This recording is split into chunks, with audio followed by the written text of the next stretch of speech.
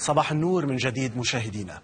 على الرغم من أن أدوات تصفية البيانات والإبلاغ الحديثة يمكن أن تكون مفيدة ومطمئنة للوالدين إلا أنها لا تحل جميع المشاكل عبر الإنترنت. فما هي المخاطر التي يتعرض لها الأولاد عند دخولهم العالم الرقمي؟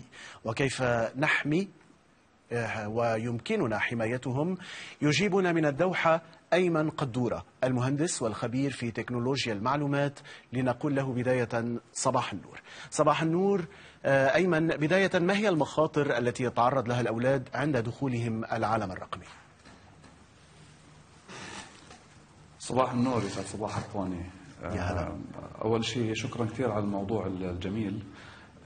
قبل ما نحكي عن المخاطر حابب انوه للاحصائيات الاخيرة اللي بتحكي انه ثلث مستخدمي الانترنت حول العالم هم من المراهقين والاطفال تحت عمر 18 سنة. ومن هون بتيجي أهمية الموضوع اللي بنحكي عنه اليوم لأنه إحنا بنحكي مع شريحة واسعة جدا وحساسة جدا.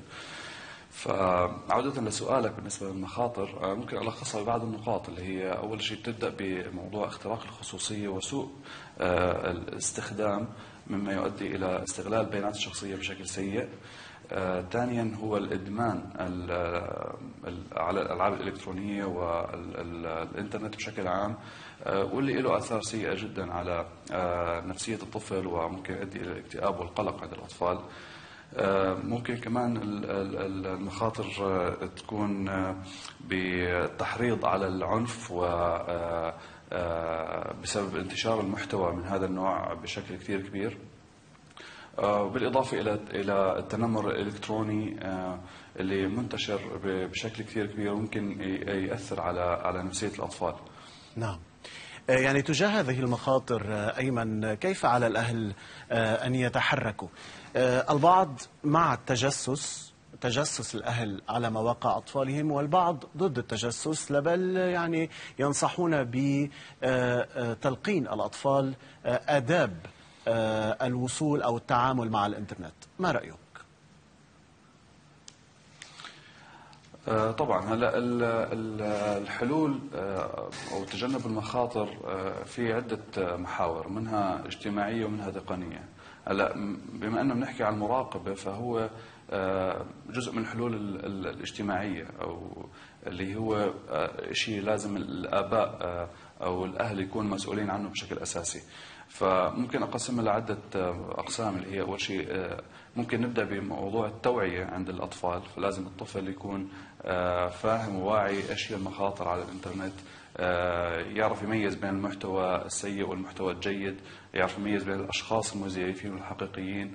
هذا كله بيبدأ قبل ما نبلش بمرحله المراقبة خلينا نحكي هو توعية الطفل نفسه. هلا المرحلة الثانية اللي هي توعية الآباء والأهل نفسهم. ف فالآباء لازم يكونوا مواكبين للتكنولوجيا والتطور والحياة الرقمية اللي إحنا عايشين فيها هلا. فلازم يكونوا عارفين إنه مثلا ما بيصير مشاركة الأطفال بكلمات السر الخاصة فيهم أو الأجهزة الخاصة فيهم. ولازم يكونوا عارفين كل الأشياء اللي حكينا عنها قبل شوي اللي هي عشان هو يقدر يوصل المعلومة للطفل لازم هو يكون فاهمها وعارفها. بالإضافة إلى دور المجتمع. فدور المجتمع كثير كبير فالمدارس ممكن لها أثر في أنه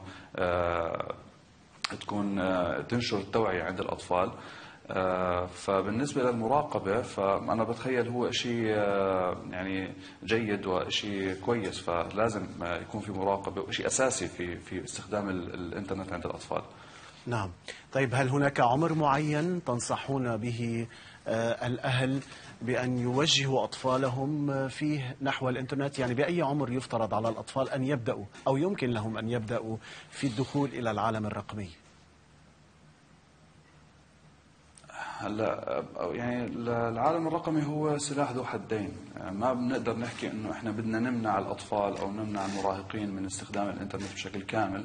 بالعكس لأنه إحنا بهيك إحنا بنكون من نعمل شيء سلبي اللي هو إنه أنت بتمنع الطفل يكون مواكب للتكنولوجيا والعصر والأشياء الموجودة في حوله ويكون يمكن متأخر عن باقي أقرانه. فبالتالي الحل بيكمن بإنه أول شيء تقنين آه، استخدام الإنترنت عند الأطفال. هلا آه، الأعمار يعني ال- الأطفال صارت من بداية من أول سنين آه، عمرها بتقدر تستخدم التكنولوجيا آه، بتفتح التليفونات وتدخل على البرامج. فهون آه، لا يعني لازم أول شيء يكون الطفل واعي عشان زي ما حكينا قبل شوي في مرحلة كثير مهمة هي لازم الأهل يعملوا على توعية الأطفال. ف فلازم ال- ال- ال- الطفل يكون واعي وفاهم هو شو بيعمل عشان نقدر نحكي إنه بنقدر نعطيه آه، التكنولوجيا أو الإنترنت عشان يستخدمها. طيب هذه الخصوصية أيمن كيف يمكن أن نتحكم بها؟ وبالتالي آه، نتحكم بكل ما يمكن الوصول إليه من خلال أجهزة أطفالنا الذكية. بنعرف كل أطفالنا صار عندهم أجهزة ذكية. كمان لمماشاة الواقع كما ذكرت. كيف يمكن أن نتحكم بالخصوصية؟ تمام. هلا ال- الخصوصية هي شيء عائد على المستخدم بشكل شخصي. فكل مواقع خلينا نحكي مثلا التواصل الاجتماعي في سياسة خصوصية وفي إجراءات معينة وتعليمات معينة كيف تحمي خصوصيتك مين آه، عنده إمكانية إنه يطلع على المنشورات اللي أنت بتحطها. مين ممكن يطلع على المعلومات الشخصية اللي أنا بحطها مثل موضوع آه، تاريخ الميلاد آه، رقم الهاتف وغيرها. فهاي بإيد المستخدم نفسه. فلازم آه، التوعية تكون بداية بأنه كل واحد عنده آه، حساب على مواقع التواصل الاجتماعي آه، يكون عارف كيف يحمي خصوصيته كيف يحكي لأبنائه آه، عن موضوع الخصوصية. آه، هلأ في حلول تقنية ممكن أنا أشير لها هلأ اللي هي آه، في أجهزة ممكن توضع في البيت وتتصل بالشبكة المنزلية بحيث أنه آه، أنت تقدر تحصر جميع الأجهزة المتصلة بالشبكة وتحدد كل جهاز آه، شو عمر المستخدم وشو المحتوى اللي يطلع له وإيش الأوقات اللي يستخدم فيها الإنترنت مثلا آه، جهاز أو التقنية اللي بحكي عنها شيء اسمه سيركل. ف تقنية كثير جميلة وكثير مفيدة فممكن ال- ال- الأهل يستفيدوا منها بشكل كثير كبير بالإضافة إلى وجود تطبيقات عديدة حاليا على ال- ال- الأجهزة الإلكترونية والأجهزة الذكية مثل تطبيقات أنا بحب أذكر اثنين منها اللي هو Net Mommy Net Nanny sorry و OpenDNS فهاي التطبيقات بتقدر أنت أو الأهل بيقدروا من خلالها يتحكموا بالمحتوى وطريقة عرض المحتوى للأطفال والأوقات استخدام الإنترنت لدى الأطفال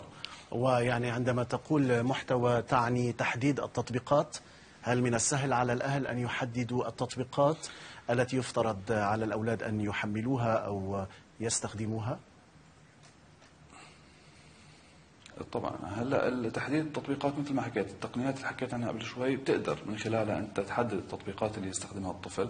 وفي أجهزة لوحية خاصة للأطفال ممكن هو ما بيقدر يعمل تنزيل آه، لتطبيقات على هاي الأجهزة غير لأشياء معينة خاصة فيه. نعم. بس بالرغم من هذا كله موضوع ال- ال- التحكم التقني يعني إلا ما يكون في استثناءات. يعني لأنه ال- الموضوع الوصول إلى الإنترنت كثير سهل صار مؤخرا وموجود بكل مكان. يعني أنت ما بتقدر تحكي إنه أنا بقدر أحمي آه، طفلي 100% من الإنترنت إذا أنا بستخدم التقنيات.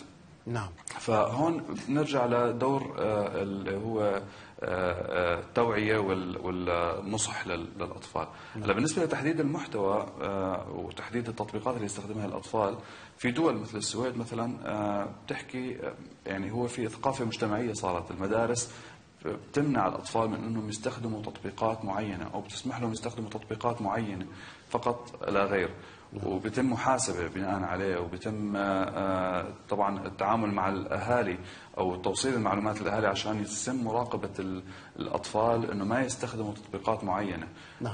ومسموح لهم يستخدموا تطبيقات آه، ثانية وهي يعني شيء مش دائما أنا بقدر أتحكم فيه تقنيا بس آه، ممكن. انتشار التوعية بين الأهل وال- وال- والمجتمع والطفل آه، ممكن آه، تؤدي إلى تعاون كامل يعني ونقدر نوصل لل- للهدف. يعني هي كما أشرت خطة تربوية آه، شاملة وطنية عائلية أيمن قدورة الخبير في تكنولوجيا المعاملات أو المعلومات. كنت معنا مباشرة من الدوحة. شكرا لك. شكرا جزيلا يعطيكم العافية. فاصل مشاهدينا نتابع بعده مع الرياضة وروان يليها فقرة مع الذات ابقوا معنا.